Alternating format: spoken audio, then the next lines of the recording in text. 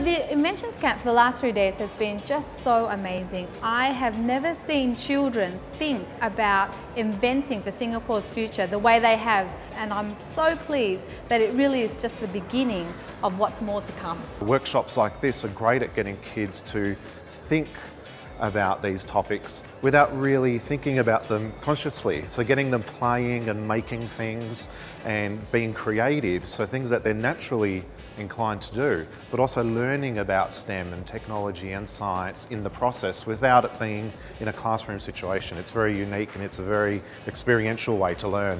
What they're doing here today is they're given real world problems. They come up with many different solutions. And it's not just for them to learn, for us as volunteers, we are actually seeing different kinds of uh, products and innovation that we probably wouldn't even think of. The workshop we witnessed earlier showed that the students are engaged with a hands-on, minds-on way of learning science and technology.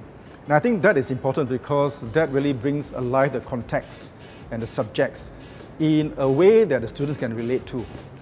And very often students learn and they ask, what's it for?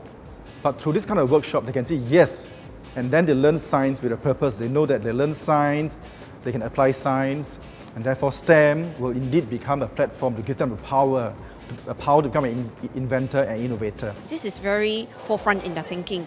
So it's not very academic, uh, which is good because uh, kids have so much ideas.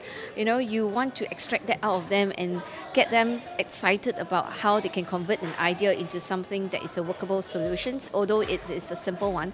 One of the things that I noticed that even though the kids didn't know each other in the beginning when they came in the morning, by the time they left, they were like exchanging names and numbers so that they could come back. So um, that's a that's a fantastic opportunity for them to connect with each other, and at the same time um, look at the different kinds of opportunities that they have to build something that's going to be very useful. I learned that we have to do teamwork and two is better than one. I found this workshop very fun and engaging. I had a lot of fun. You've got to have a plan of what you're going to build and uh, you've got to research on what materials you're using. Helping people by, make, by designing things actually feels more fun than just completing a challenge. I joined this workshop because I, it is fun and I like to invent. The best part of this whole workshop is you get to do or design anything. To do anything, it takes research, planning, and practice.